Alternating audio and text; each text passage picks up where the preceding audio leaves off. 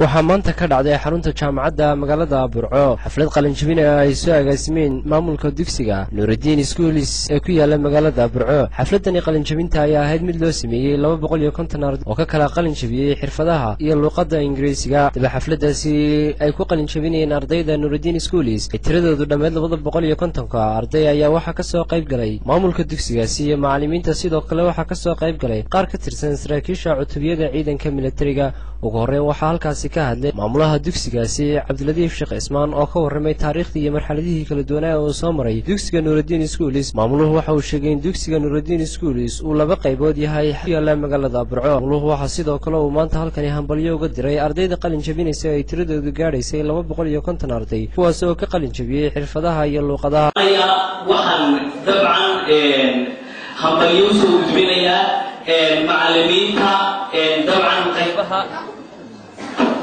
qaybaha milatariga dabcan maanta nagala soo qayb galay xafladeena macalimiinta iskuullada nuuraddiin schoolis ardayda qalin jebinaysa iyo dhammaanba markasharafka kale ee nagala soo qayb gashay xafladeedan runtii sharaf bay noo tahay waa waxaan ku faanayno waxa weeyaan waxaan ku farxayno inaanu aragno cutubyo ama dabcan tula sidan oo kale u ballaaran oo ardaya oo maanta ka qalinjabinaysa ama ka soo qayb gashay xafladda qalinjabinta dabcan taariikh nololeedka iskuullada nuuraddiin schoolis iyo warbixinta kale ee maanta aan ugu talagalay waktigan maan ugu talagelin inaan imanka idin hormariyo.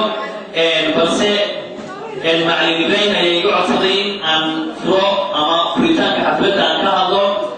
Sidaa awgeed waxaan dhammaanba mahad mar labaad u celinayaa boqolaalka arday ee ka tirsan iskuullada nuuraddiin schoolis ee maanta fursad u yeeshay inay ka soo qayb qaataan sidoo kale waxaa iyaguna halkan ka hadlay qaar ka tirsan cutubyada ciidanka militariga jamhuuriyadda somalilan gaar ahaan qaybta labiyo tobnaad ee ciidanka. Saraakiil ka tirsan kuwaasi oo sheegay in lafti ahaantooda ay ka tirsan yihiin ardayda iskuulka. Daba waxaa nasiib darro ahayd in maanta sida ay sheegeen maamulka dugsigaasi lagu soo casuumay maamulka gobolka kan degmada wasaaradda waxbarashada. Ay dhammaantoodna aanay imanin goobtaasi. Waxaa iyagu halkaasi hadallo yididiilo iyo farxad u soo jeediyey ardayda. Kala hadlay qaar ka tirsan cutubyada ciidanka militariga gaar ahaan qaybta labiyo tobnaad ee fadhigeedu yahay magaalada burco waxaanay sheegeen in maanta ay ku faraxsan yihiin in carruur laga carruurtooda ay shahaadooyin halkani kala qaadanayaan. Sidoo kalena ay ku faraxsan yihiin waxbarasho inay sii wadaan iyagoo dhanka kale kaga jira ilaalinta iyo difaaca ciidanka qaranka jamhuuriyadda somalilan. Saraakiishan ayaa iyagoo isla goobtaasi ku sugan waxaa la soo hadlay taliska ciidanka sare ee qaranka jamhuuriyadda somalilan kuwaasi oo ugu yeedhay inay howlahooda gutaan. Taasina waxa ay muujinaysaa in ciidanka qaranka jamhuuriyadda somalilan ay hadhiya habeenba u heelan yihiin ilaalinta nabadgelyada. Sidoo kalena ay jecel yihiin inay bulshada ay kala qayb qaataan dhanka horumarka gaar ahaan waxbarashada.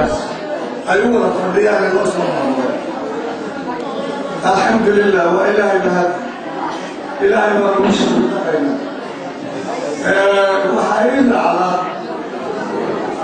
haysuranina maanta. Wixii aad doonayseen hesheen waxbarashadiinni hesheen waxaan idin leeyahaa seexanini halkaa ka sii wada oo haysdiganina ardaydana intaasaa leeyahay haddii aan u soo noqdaan annaga xagga iyaga waxaanu ahay dhowr xubnood oo saraakiisha qaybta labiyo tobnaad ee burcaha intii kale hawlay ku maqanta hase ahaatee waxaanu doonayn inaanu xoojinno ugu dambayntii waxaa halkaasi shahaadooyin lagu guddoonsiiyey iyo abaalmarino ardaydii ka soo qalin jabisay xirfadaha luuqadda ingiriisiga carabiga iyo xisaabta. Sidoo kale waxa iyaguna ardaydu halkaasi ay abaalmarino iyo jaa'isooyin ku guddoonsiiyeen macallimiintii wax soo baraysay muddada gaadhaysa halka sanno maaha markii ugu horraysay xaflad noocani uu iskuulka nuuraddiin u qabto ardayda ka qalin jabinaysa gaar ahaan magaalada burco. Balse waa dufcaddii tobnaad ee ka qalin jabisa dugsigaasi kuwaas oo isugu jira hable iyo inamo. Maxamed caawad maxamed shabakadda wararka ee ood news burco